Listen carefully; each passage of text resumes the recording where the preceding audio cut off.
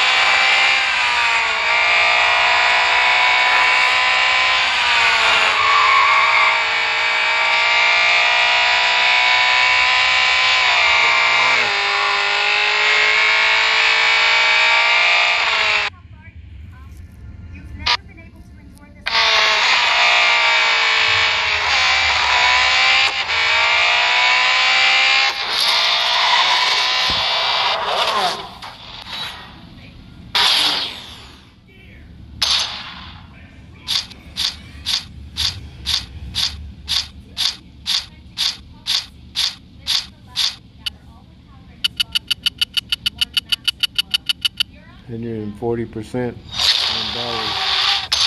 There you go for those that need money.